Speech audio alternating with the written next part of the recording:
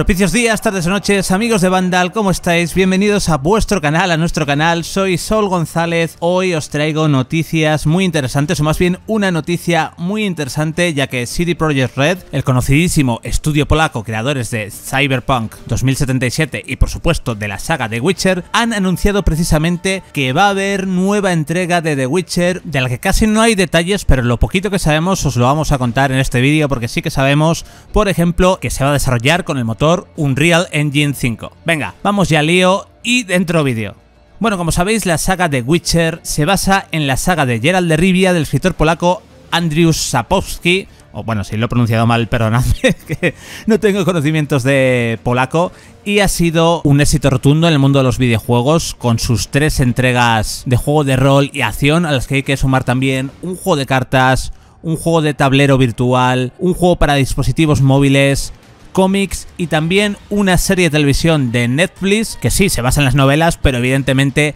ha llegado a Netflix esta serie por el impacto que han tenido los videojuegos que han hecho que las novelas de Gerald de Rivia alcancen una cota de popularidad muy pero que muy importante entre los aficionados a la fantasía épica. Toda esta popularidad, todas estas ganas de una nueva entrega del videojuego de The Witcher, lo bien que ha funcionado la serie también en Netflix, ha llevado a CD Projekt Red a anunciar esta misma tarde una nueva entrega AAA de juego de rol de The Witcher con una imagen que estáis viendo ahora mismo en pantalla en la que podemos ver un medallón y en la que podemos leer también que comienza una nueva saga. Esto nos da una pista que evidentemente esta nueva saga de The Witcher es muy probable que no esté protagonizada por Gerald de. De hecho, no se nos han dado ningún tipo de detalles sobre el protagonista, sobre mecánicas del juego, sobre fecha de lanzamiento, sobre para qué plataformas va a llegar y de hecho, ahora mismo la única información oficial es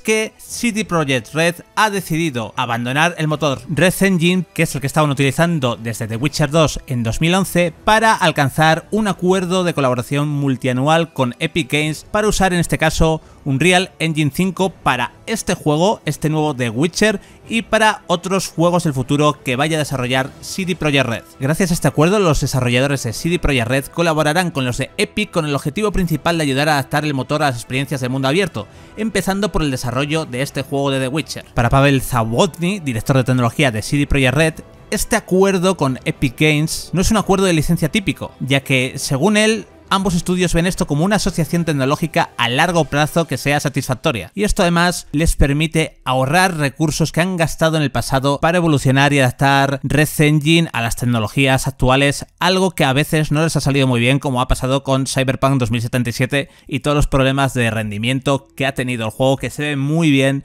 pero que ha lastrado muchos problemas y muchos errores gráficos. Eso sí, también desde CD Projekt Red han querido recalcar que los DLCs y todo el trabajo que están haciendo para Cyberpunk 2077 va a seguir siendo desarrollado en su Red Engine, en la última versión,